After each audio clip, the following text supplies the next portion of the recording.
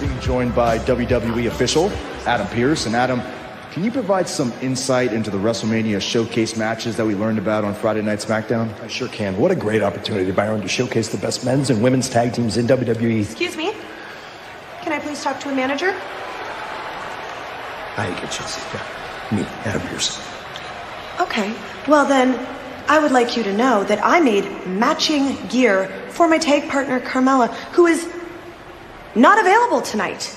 Yeah, I'm aware of that, but as you can see, I'm kind of in the middle of So you will have no problem then agreeing to the new tag partner that I found. Someone who has absolutely no love lost for Asuka and Bianca. Come on, girl. this here is Piper Niven. Piper is going to help me destroy the competition tonight. Hmm. So talk to whoever you have to talk to to make this official.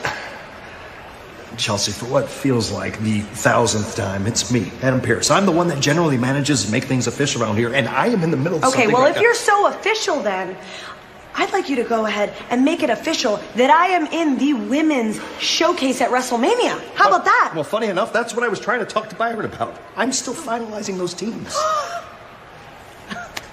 I'm sorry, finalizing? yeah.